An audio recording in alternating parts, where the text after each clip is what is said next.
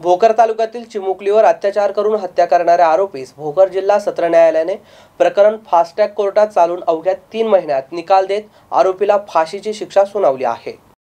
भोकर तालुक्यातील दिवशी बुद्रुक येथील एका शेतकऱ्याच्या पाच वर्षीय बालिकेवर अत्याचार करून तिची निखरून हत्या केल्याचे प्रकरण फास्ट ट्रॅक कोर्टामध्ये चालवून अवघ्या तीन महिन्याच्या आत न्यायालयाने सबळ पुराव्यावरून न्यायाधीश मुजीब एस शेख यांनी आरोपीस फाशीची शिक्षा सुनावली आहे. यामध्ये सरकारी वकील म्हणून ॲडव्होकेट रमेश राजूरकर यांनी काम पाहिले. या घटनेने महाराष्ट्रासह तेलंगणा राज्यातून तीव्र प्रतिक्रिया उमटत होत्या. सदरील गंभीर गुन्ह्याचा खटला भोकर जिल्हा व अतिरिक्त सत्र न्यायालयात चालवण्यात आला. सबळ पुराव्यांवरून आरोपी विरुद्धचा गुन्हा सोमवारी सिद्ध झाला. त्यामुळे मंगळवारी तेवीस मार्च रोजी आरोपीचे म्हणणे ऐकल्यानंतर जिल्हा न्यायाधीश मुजीब एस शेख यांनी फाशीची शिक्षा सुनावली आहे. यात सरकारी वकील ॲडव्होकेट रमेश राजूरकर आणि आरोपीचे वकील यांच्यामध्ये झालेल्या युक्तिवाद साक्षीदारांची साक्ष तसेच घटनास्थळावरील सबळ पुरावे वैद्यकीय अहवाल यावरून आरोपी विरुद्धचा सर्व कलमानुसारचा गुन्हा सिद्ध झालाय. संपूर्ण मानवतेला काळिंबा फासणारी घटना असल्यामुळे सदरील गंभीर गुन्ह्यातील